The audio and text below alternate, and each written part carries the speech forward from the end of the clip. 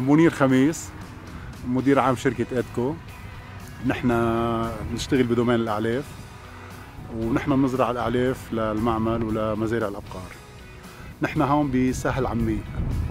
هيدي مصلحة آل سكيف بيملكوا الأراضي نحن بناخذ الأراضي وبنضمنها على مدة سنة كاملة وبنزرعها آه، نوعين من الأعلاف ورا بعضهم نوع شتوي ونوع بالصيف.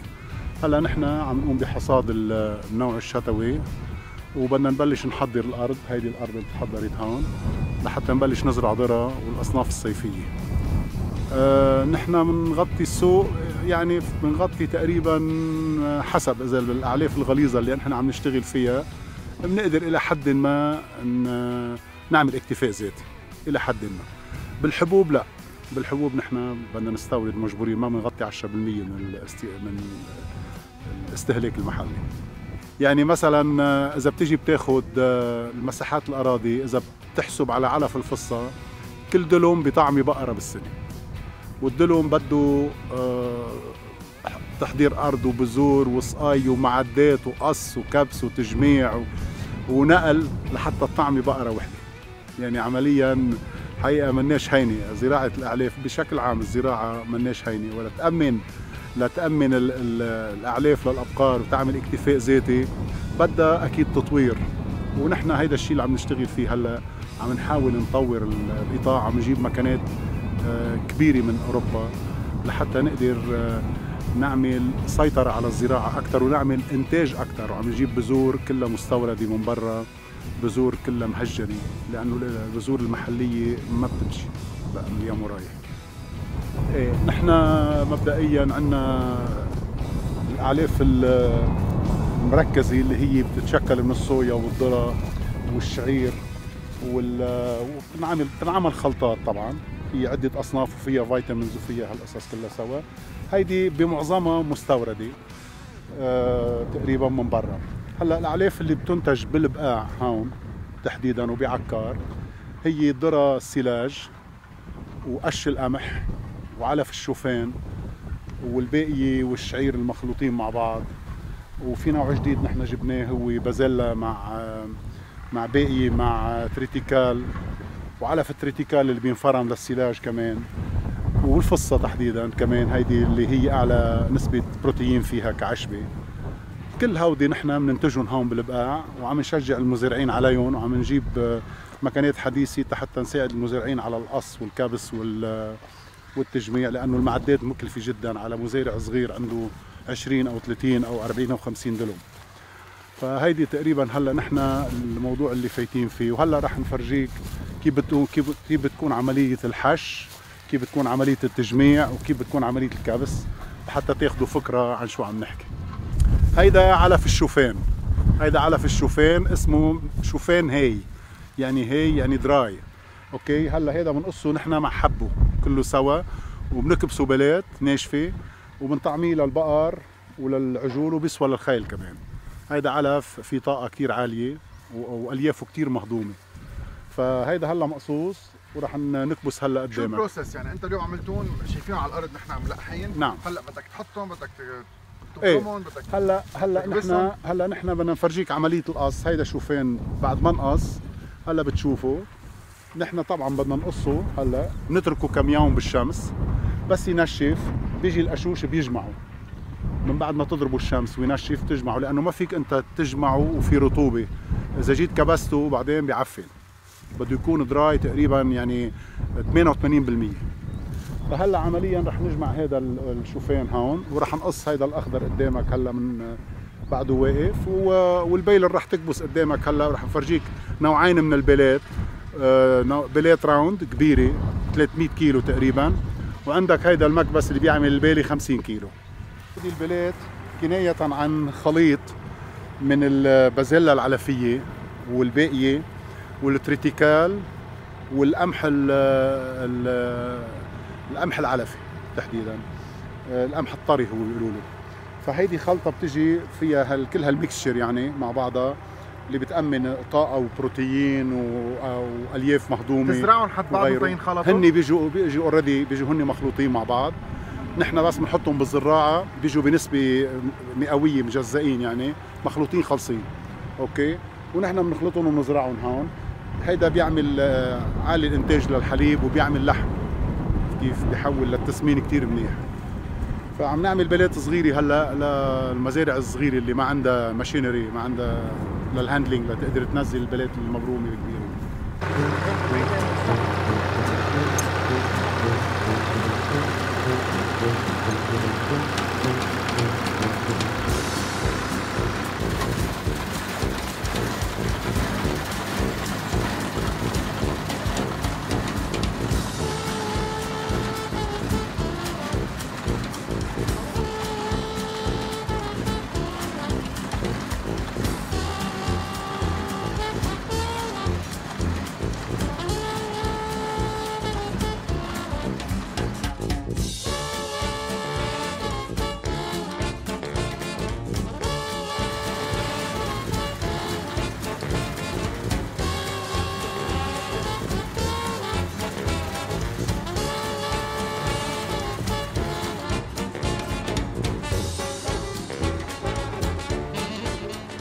الشيء اللي عم نشوفه.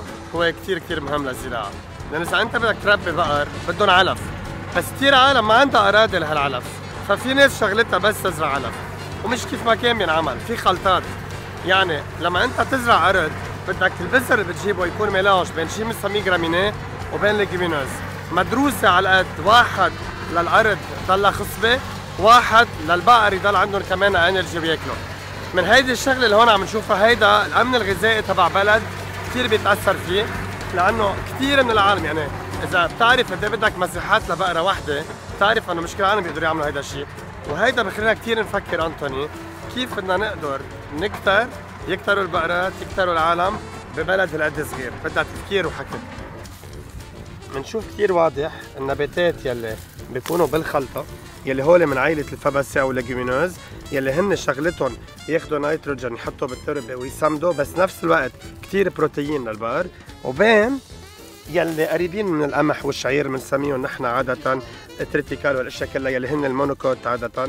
يلي كمان عندهم فوائد أو بيكبروا أو بيروحوا بالعرض. هيدي كلها خلطة كرمال العلف الحيواني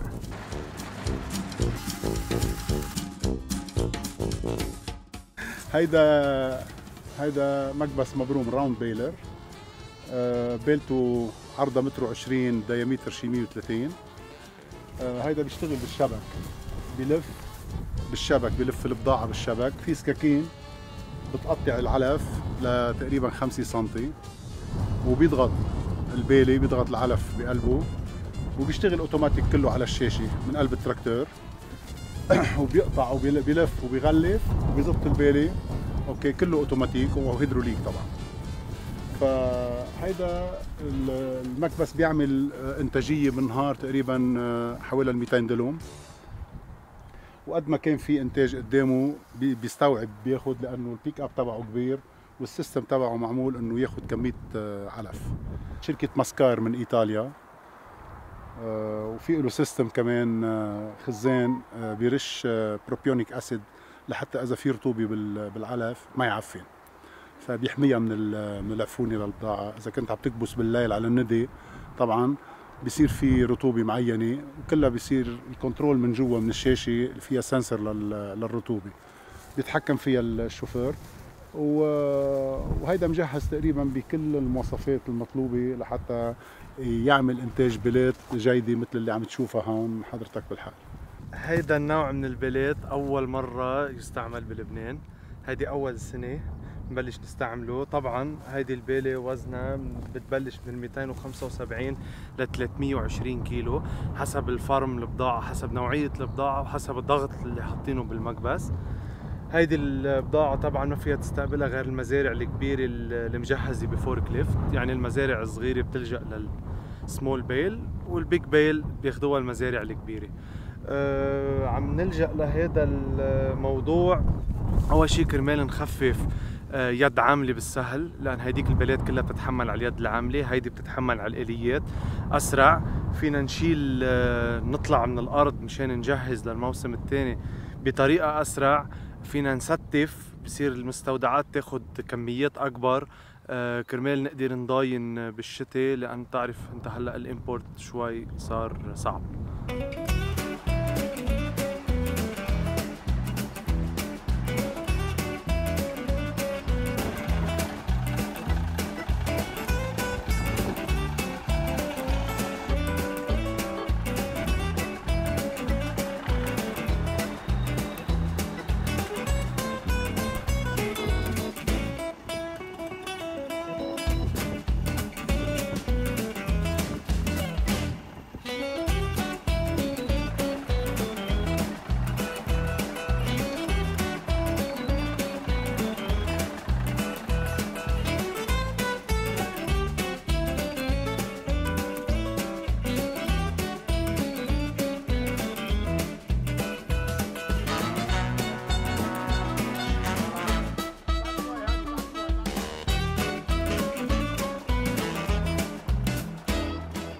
بيعطوا هودي نرابيج الزيت اللي بيعطوا آه، حركة لكل الموتورات الهيدروليك اللي بالمكنه okay وياخذوا أوامر.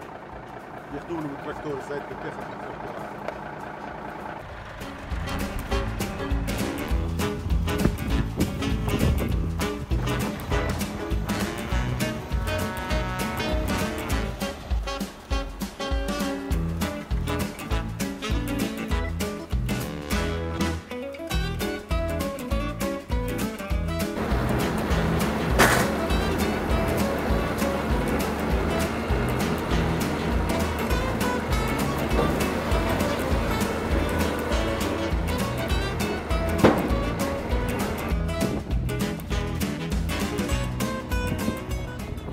طلع صبي. طلع صبي. بتطلع توم أو بس لا لا تويم, واحد. تويم ما في. أنا بجيب تويم بس. حلو كثير أنا ما كنت عارف ما كنت يعني عن جد ما كنت متخيل إنه إنه بتعبيها وبعدين بترجع بتفتح المكنة. فكرت إنه مثل هيديك يعني في شيء عم بيكبس كل الوقت. ساعات اللي التقيت فيك فيك قلت لك طب وين وين بتظهر؟ إيه. فكيف بتفتح وكيف تنزل وقديش متطورة وقديش مهمة. آه هيدا أول مرة بتاريخ لبنان بيكون في هيدا الشيء بلبنان وشيء بنفتخر فيه. بكل برمات بكل سفراتي بأوروبا كنت تشوفهم هيك واقفين ودائما بنوقف بناخذ لهم صور حلوين. هلأ صاروا موجودين هون. هلأ أول ما وصلنا قلت له خبرنا عن الفيراري تبعك. طب كل واحد فيراري على قياسه إيه؟ لا إن شاء الله نحن في مكنه ثانية مثله. و... والأمل إنه نجيب بعد شيء ثلاثة أربعة مثلهم جداد لحتى نوزعهم بسهل البقاع. ليصير كل الإنتاج هيك يعني للتوضيب للمزارع ورح نجيب وحدة رح نجيب اثنين بتصور كمان مع wrapper بتغلف نايلون. يعني بهاي البيلة بيقدر صاحب المزرعة يحطها برا بالشتاء ما عاد مضطر يحطها بقلب هنجار. يعني مشكلة التخزين موضوع هيدا مشكلة التخزين بلبنان عويصة. كل مزارع الدنيا التخزين لأنه هيدي volume تاخذ حجم فهيدا الموضوع كتير مهم للبنان إن شاء الله وللزراعه ولاصحاب المزارع. يمكن للديكور كمان هلا لحدا مش بالزراعه في يمكن ناس تاخذهم تعمل فيهم ديكور آه، لمطعم لكذا بنعطيهم أفكار مثلا. ممكن بس ممكن. آه، هيدا علف غالي يعني مش رح ياخذوه للديكور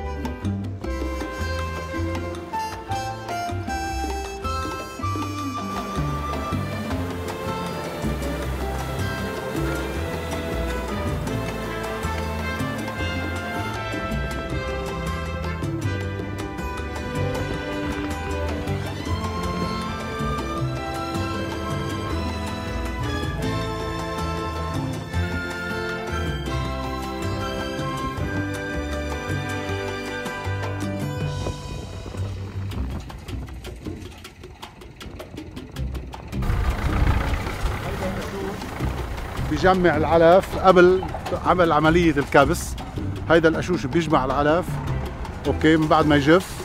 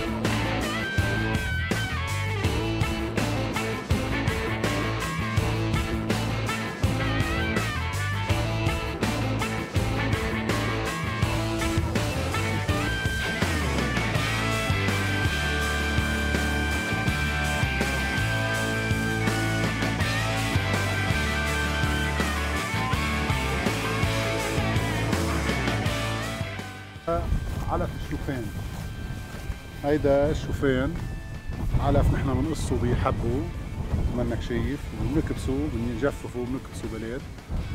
بالات كبيرة أو صغيرة. هيدا علف ممتاز لإنتاج الحليب وللحم.